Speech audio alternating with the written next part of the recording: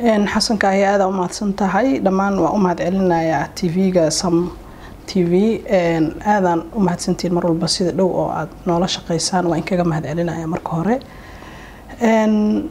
Markii honesty loo hadlo siyaasadda soomaaliya xilliga la joogo aada ayay waxay u tahay very critical time.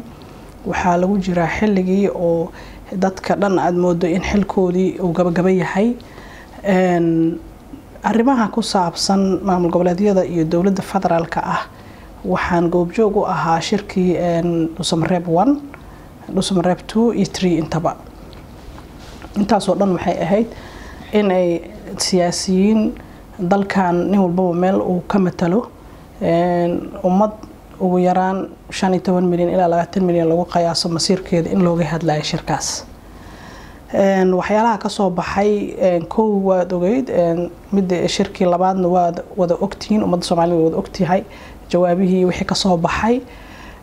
Shirkii saddexaad oo la iskugu wada yimid madaxweynaha dowladda federaalk maxamed cabdulaahi farmaajo xibnaha ka ah dowlad goboleedyada saddexda state iyo gobolka banaadir. Way ahaayeen.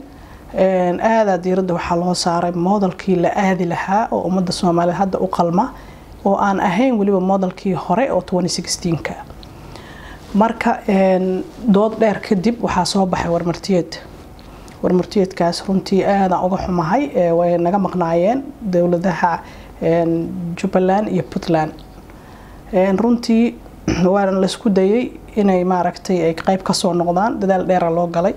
Haddana waxaan aada ugu faraxsanahay oo mar labaad aan soo dhaweynayo inay imaanayaan magaalada muqdisho oo mar labaad shirka furmaayo labada statena ay imaanayso.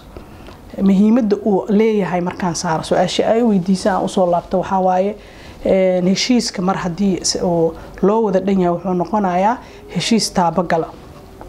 Laakiin heshiiska haddii qeyb kamida ay heshiis galaan qeybta kalena ay maqan tahay dee adduunkana kuma qancaayo.